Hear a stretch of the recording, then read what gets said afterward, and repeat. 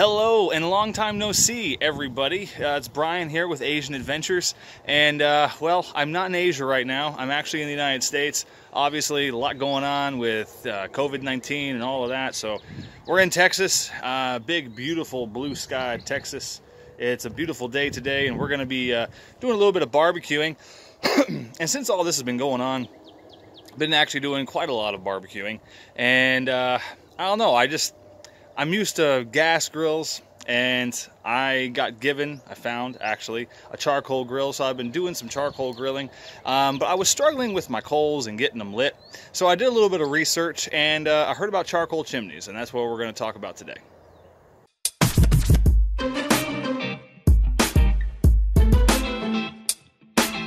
So, for those of you who don't know what a charcoal chimney was, because up until about a week ago, I had no idea either, basically, it's this okay?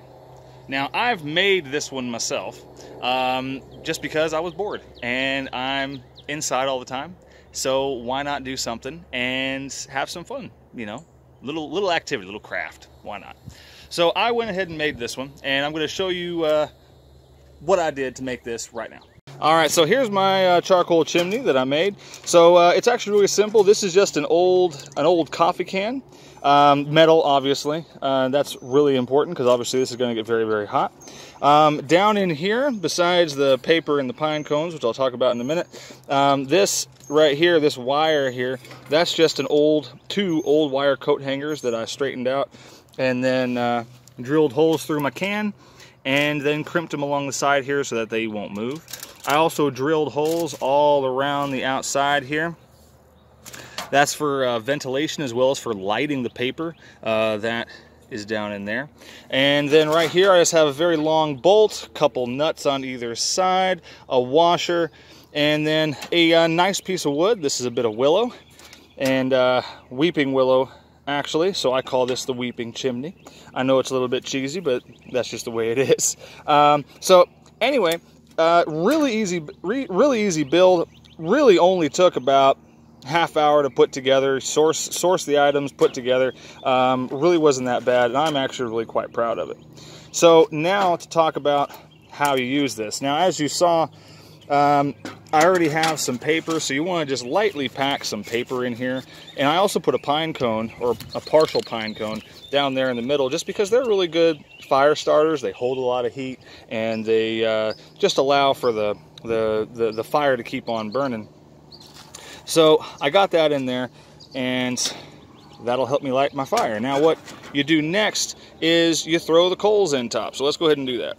Now I have absolutely nothing against charcoal briquettes, but I prefer using the lump charcoal. I just I just feel like it gets a better burn, it lasts longer, and better overall flavor uh, that goes into the meat, in my opinion. Maybe I'm full of it, but that's just how I feel.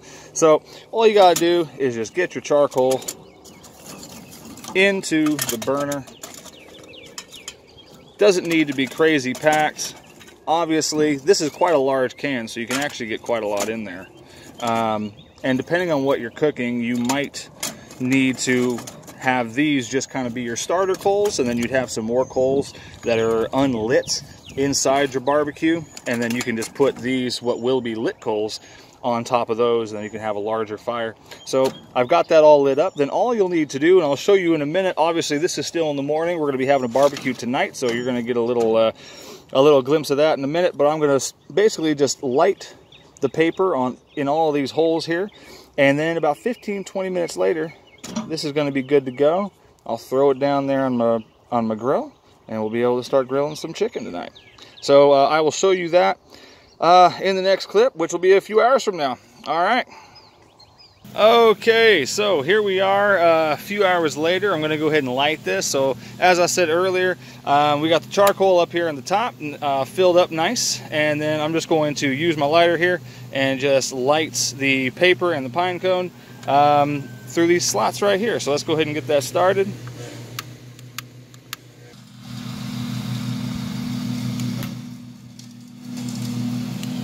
All right.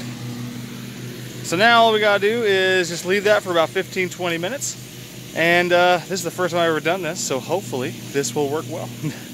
So the lighting is not all that great out here, but I hope that you can tell. Um, this is after about 15 minutes. Um, and we actually have like proper big flames coming out of the top of this and uh, we're starting to get some nice uh, graying on the charcoal so maybe just another couple minutes and this baby will be good to go to throw in the grill and start cooking okay so now what we're going to do is we're going to go ahead these coals are good and ready so I'm going to go ahead and just uh, dump them down in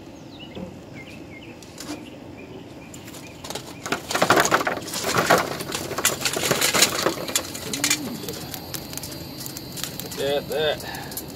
That is beautiful. So exactly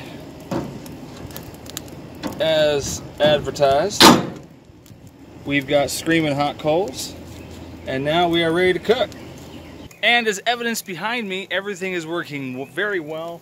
Um, I got some chicken on the grill. We're gonna have some skewers, uh, for the vegetable skewers on there in a few minutes. Um, everything is going about swimmingly. I'm very, very happy. Um, highly recommends. Uh, hopefully one of these days I'll get around to making a build video for the uh, for the uh, weeping chimney, as I call it.